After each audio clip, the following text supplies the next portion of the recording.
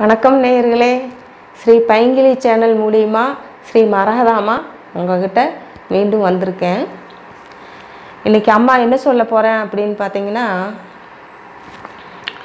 வெயில் அதிகமாக இருக்குது அதனால வந்து நான் இன்னைக்கு சொல்கிறது வந்து ஆம்பளை பிள்ளைங்களுக்கு பற்றி வெயில் காலம் அதிகமாக இருக்குது நிறையா தோ வேலைக்கு போகிறவங்க பிஸ்னஸ் மூலியமாக போகிறவங்க ஸ்கூலுக்கு போகிறவங்க காலேஜ் போகிற பசங்க எல்லாருக்கும் நான் சொல்கிறது இது பொருந்தும். அப்போது அவங்களுக்கு என்னென்னா வெயிலில் போயிட்டு வந்துட்டு சூடு தாங்காமல் சும்மா சும்மா வந்து குளிப்பாங்க. குளிக்கிறதுனா எப்படின்னா சோப்பை போட்டு போட்டு போட்டு போட்டு நல்லா குளிப்பாங்க. அப்போ என்ன ஆகுங்கன்னா இந்த தோலெல்லாம் வறண்டு போய் ட்ரை ஆகிடும் அப்போ அவங்களுக்கு வந்து கை காலு மூஞ்சி எல்லாம் நல்லா தேய்ச்சி குளிப்பாங்க. ஆனால் ஒரு இடத்த மறந்துடுவாங்க அதுதாங்க மறைவிடம். அந்த மறைவிடத்தை தேய்ச்சி கழுவ மாட்டாங்க. சீக்கிரம் சீக்கிரமாக குளிச்சுட்டு ஓடியாந்துருவாங்க. அப்போ அதனால் என்ன பிரச்சனை அவங்க சந்திக்கிறாங்கன்னா ரொம்ப கஷ்டமான பிரச்சனையை சந்திக்கிறாங்க.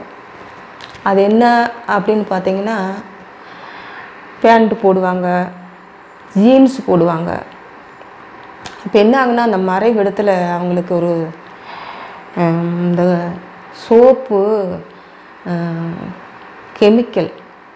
அது போய் போய் போய் பட்டு பட்டு பட்டு பட்டு அவசரத்தில் சரியாக க கழுவாமல் வந்துடுவாங்க அது என்ன ஆகுங்கன்னா ஒரு அலர்ஜி மாதிரி உண்டாகி தடிப்பு மாதிரி ஆகி அரிப்பு எடுக்க ஆரம்பிச்சிடும் அந்த அரிப்புனால் அதுங்க அந்த குழந்தைங்க வெளியும் சொல்லாது.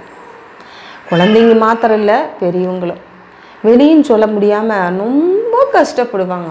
அவங்க படுற கஷ்டம் அது சொல்ல முடியாது. அது அவங்களுக்கு நான் சொல்கிறேன் அம்மா சொல்கிறது அவங்களுக்கு புரியும். அப்போ இதுக்கு என்ன பண்ணுவாங்கன்னா ரொம்ப முடியாமல் சொரிஞ்சு சொரிஞ்சு பார்த்துட்டு கடைசிக்கு என்ன பண்ணுவாங்கன்னா தோல் டாக்டர்கிட்ட போவாங்க. அப்போது இதெல்லாம் இல்லாமல் அம்மா வந்து அந்த மாதிரி ஒரு கஷ்டமே நேராத அளவுக்கு குழந்தைங்க அவங்க எப்படி பாதுகாத்துக்கிறது அப்படிங்கிறத இன்றைக்கி அம்மா உங்களுக்கு சொல்லித்தரேன். நீங்கள் வந்து எப்போவுமே குளிக்கிறதுக்கு முன்னாடி தேங்காய் தேய்ச்சிக்கணும்.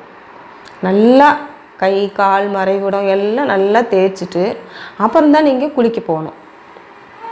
குளிச்சுட்டு அம்மா சொல்ல போகிறது பார்த்தீங்கன்னா என்னை கேட்டால் மெயினாக சோப்பு அதிகம் யூஸ் பண்ணாதீங்கன்னு தான் நான் சொல்லுவேன். ஏன்னு கேட்டிங்கன்னா கெமிக்கலில் இருந்து நம்மெல்லாம் கொஞ்சம் கொஞ்சம் கொஞ்சம் இல்லை சீக்கிரமாக விடுபட்டுறணும் அப்போ தான் நமக்கு வந்து முழுமையான ஆரோக்கியத்தை நம்ம அடைய முடியும். நம்ம வந்து நம்ம தோலை நம்ம கவனிக்கணும். ஏற்கனவே சூடு. இதில் கெமிக்கலை போட்டு அப்புனா அது என்ன அளவுக்கு ஒரு வி- விளைவை கொண்டு வந்து கொடுக்குங்கிறத நம்ம புரிஞ்சுக்கணும்.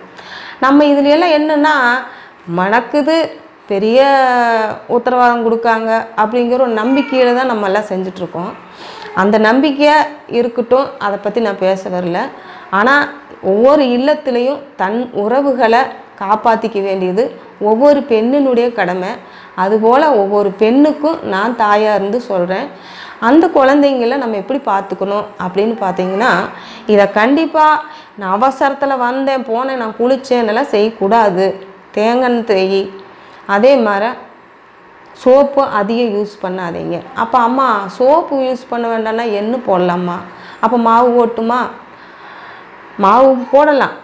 ஏதோ கொஞ்சம் ஒரு வாரத்தில் ஒரு ஒரு ஒரு நாலு நாள் அஞ்சு நாள் அப்படி பார்த்தீங்கன்னா மாதத்துலேயே ஒரு நாலு நாள் அஞ்சு நாள் போடலாம். என்ன கேட்டால் சு மாவும் வேண்டாம். அது அம்மா ஏன் அப்படி சொல்கிறேன் மாவு வேண்டாம். அப்படின்னா மாவை போட்டு போட்டு தேய்க்கும் போது என்னென்னா நம்ம வேர்வை சுரப்பி கண்கள் எல்லாம் அடைச்சிக்கும். உடம்புல. நாளடைவில் அடைச்சிக்கும். அடைச்சிக்கிட்டால் அது நமக்கு ப்ராப்ளம் தான் கொண்டு வந்து விடும். அதனால நம்ம வந்து வேப்பம்பத்துன்னு எடுத்துக்கோங்க. ஆவாரம் பூ கிடைச்சா பாருங்கள் இதுலேருந்து அதனோட இலையை எடுத்துக்கோங்க. அதே மாதிரி அரப்பு கொஞ்சம் எடுத்துக்கோங்க. அந்த காலத்தில் சொல்லுவாங்க தலைக்கு வேறு சீவக்காய் தாடிக்கு வேறு சீவக்காயான்னு அதுதாங்க தலைக்கு மாத்திரம் இல்லை உடலுக்கும் அதுதான். அது மாதிரி நீங்கள் வந்து அரப்பு கொஞ்சம் எடுத்துங்க. இந்த மூணு சரி பாதி எடுத்துட்டு கொஞ்சம் மஞ்சள் கொஞ்சமாக மஞ்சள் விட்டு நீங்கள் வந்து பேஸ்டாக்கி வச்சுக்குங்க. வச்சுட்டு நல்லா தேய்ச்சி தேய்ச்சி குளிங்க. அதுதான் இப்படி பண்ணிவிட்டு நீங்கள் எத்தனை குளியல் போட்டாலும் ஒன்றும் பிரச்சனை இல்லை. மஞ்சள் தூள் கண்டிப்பாக நீங்கள் போடணும். அதே மாதிரி பெண்களும் சரி ஆண்களும் சரி மஞ்சள் வந்து யூஸ் பண்ணணும். பெண்கள் கண்டிப்பாக மஞ்சள் பூசி குளி குளிக்கணும். அதுதான் நமக்கு ஆரோக்கியம். அதில் எவ்வளோ ஒரு நோய் எதிர்ப்பு சக்தி இருக்குங்கிறத ஆய்வுபூர்வமாகவே நமக்கு தெரிவிக்கப்பட்டிருக்கு. நிறையா பேர் கூச்சப்பட்டுட்டு சின்ன பிள்ளைங்கெல்லாம் மஞ்சள் தேய்க்கிறது இல்லை அன்னைக்கெல்லாம் அப்படி இல்லை. மஞ்சள் பூசி தான் குளிக்கணும். அப்போ தான் குளிச்சுட்டு வந்தாலே சொல்லுவாங்க. அதனால் கண்டிப்பாக நீங்கள் வந்து மஞ்சள் பூசி குளிங்க. அதே மாதிரி ஆண்கள் வந்து கண்டிப்பாக எப்படின்னா மஞ்சள் யூஸ் பண்ணுறது மறைவிடத்தில் மஞ்சள் பொடி போட்டு தேய்ச்சி கழுவலாம். ரொம்ப இதனால் இப்போ பாதிக்கப்பட்டு இருக்கிறவங்க மஞ்சள் பொடி தயங்காமல் நீங்கள் எடுத்து நல்லா தேய்ச்சி அந்த இடத்த கழுவிக்கிங்க. அதே போல் டெய்லி குளிக்கும்போது இந்த த நீரில் வந்து சிறிதளவு மஞ்சப்பொடி போட்டு நீங்கள் குளிங்க. நீங்கள் அந்த மஞ்சள் பொடி தேய்ச்சி குளி போட்டு குளிக்கிறனால நமக்கு வந்து நம்ம போடுற உடைகளில் அந்த கலர் பிடிச்சிருமா? நம்ம ட்ரெஸ்ஸில் எல்லாம் கலர் பிடிச்சிருமா? நமக்கு வெளியில் அரைச்சி பார்த்தா பூச்சமாக இருக்குமேனு ஆம்பளை பிள்ளைங்க நினைக்காதீங்க. நீங்கள் சாக்ஸ் போடுறதுனால உங்களுக்கு அது வே வேறு பக்கம் எங்கேயும் படாது. அதனால் நீங்கள் வந்து இதை கண்டிப்பாக நீங்கள் கடைபிடிச்சிக்குங்க. அப்புறம் சோப்பை முடிஞ்ச அளவுக்கு குறைச்சிக்குங்க.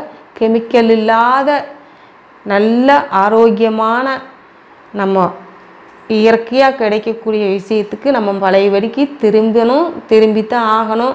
இப்போ இப்படி வந்திருக்கு. இனி நாளைக்கு எது வேணாலும் வரலாம். அதை நம்ம எதிர்கொள்றதுக்கு நம்ம நோய் எதிர்ப்பு சக்தியை நம்ம பலப்படுத்திக்கணும். நம்ம சங்கதியில் நோய் எதிர்ப்பு சக்தி நிறைஞ்சவங்களாக உருவாக்கணும்.